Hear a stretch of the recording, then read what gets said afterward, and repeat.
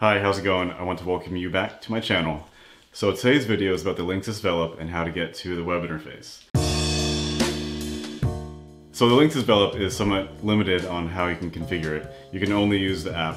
So I don't know if you guys are power users or advanced users like me, where I like to really dig into it through web interface.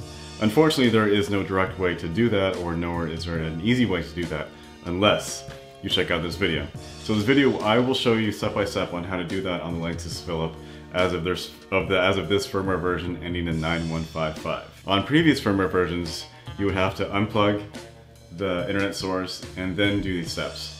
But I noticed on this version of the firmware 9155, you do not have to. List of ingredients, you'll need the Linksys Velop, and you need a laptop. So with the Linksys Velop on, you need to go to this address, like so.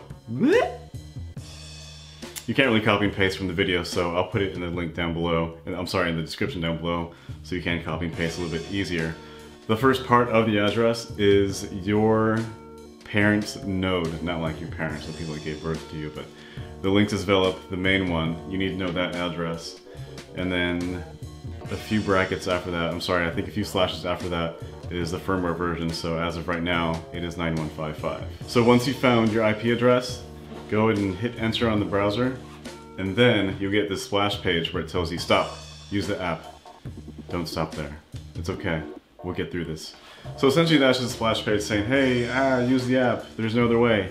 But what's weird is if you just take that URL that you just got that got you there again, and you paste it again, you enter, and you enter it again, it'll take you to another page. It'll have your password that you set up when you initially bought the thing. Use that to log in, and then you get another splash page. But the splash page has a little more options on the bottom.